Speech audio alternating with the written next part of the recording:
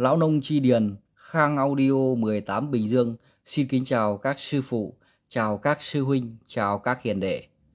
Báo cáo với lại mọi người bây giờ là 23 giờ 5 phút ngày 29 tháng 1 năm 2023. Thì cũng xin uh, trân trọng coi như thế là thông báo tới các sư phụ cùng các huynh đệ khắp ba miền Bắc Trung Nam. Ngày mai là ngày mùng uh, ngày uh, mùng 8 Tết đấy, ngày mùng 8 tháng Giêng, tức là ngày uh, 2 à, ngày 30 tháng 1 năm 2023. Mình à, bắt đầu coi như thế là cung cấp những sản phẩm âm ly loa đài đủ về tiêu chí kỹ thuật để phục vụ các sư phụ cùng các huynh đệ khắp ba miền Bắc Trung Nam.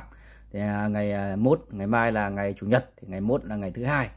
Thì bên đơn vị vận chuyển thứ hai là người ta hoạt động trở lại rồi. Đấy, thế nên là mai mình mà giới thiệu sản phẩm mà ai mà ưng bụng cái sản phẩm nào thì cứ trần văn chốt thôi. Thế là thứ hai là hàng lên được nhưng còn trong năm thì có ba thượng đế à, đã chốt hàng. Thế nhưng mà đã chuyển thóc cho mình hết rồi, nằm ở trong thùng xốp rồi.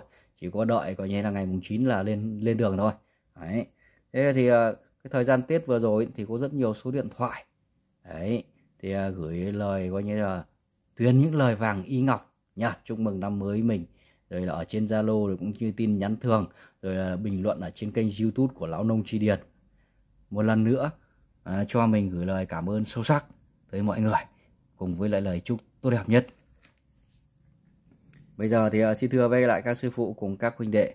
Bây giờ buổi tối ngày hôm nay thì ờ, không ờ, giới thiệu sản phẩm. Và cũng mạo muội gửi tới các sư phụ cùng các huynh đệ một bài thơ con cóc của lão nông tri điền khang audio 18 bình dương. Đấy. thì thơ con cóc thì mọi người biết rồi nhỉ? Đấy, thế là những người mà không có khả năng về thơ nhưng lại thích làm thơ Đấy, thì cái thể thơ như vậy người ta gọi là thơ con cóc. Đấy là theo cái sự hiểu biết nông văn cạn của mình nó là như vậy. Đấy, thì mình cũng như vậy thôi. Mình cũng chẳng biết gì về thơ cả. Đấy, thế nhưng mà lại rất thích thơ. Đấy, thế nên là thôi thì cứ mạo muội gửi tới các sư phụ cùng các huynh đệ. Có vào ạ? Đấy, mình thích thì mình nhích thôi. Đúng không ạ? Đấy. Tôi hỏi nhỏ chú sâu mà lá có gì để thích? Chú sâu cười khúc khích. Thích đâu cần lý do. Có vào ạ? Đấy âm ly loa đại vậy, các sư phụ cùng các huynh đệ nếu mà gọi như thế là thích nhá. Ờ, nếu mà thích mà cái bụng mà nó ưng là trần văn chốt ngay. Chứ không phải ờ, đợi cái này hoặc đợi cái nọ làm gì cả, đúng không ạ? Đấy.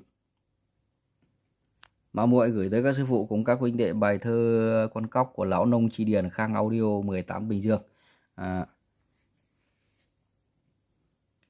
lão nông nay chỉ bán đài để cho thiên hạ ngày mai tươi cười. Lão nông quyết chí thi đua, tuyển lựa đại tốt, người mua vừa lòng. Mua rồi không phải là xong nếu mà đài hỏng, lão liền giúp ngay.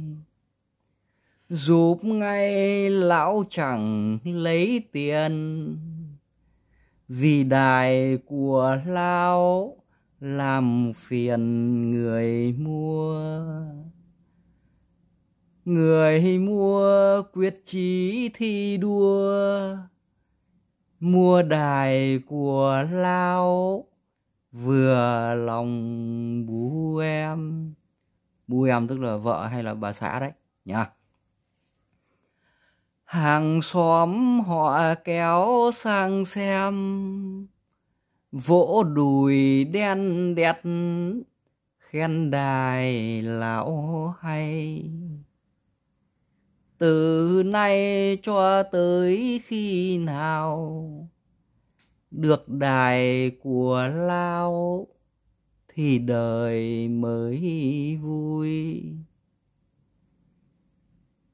Vừa rồi Lão Nông Tri Điền Khang Audio 18 Bình Dương đã mạo muội gửi tới các sư phụ cùng các huynh đệ những vần thơ con cóc về đài của Lão Nông Tri Điền.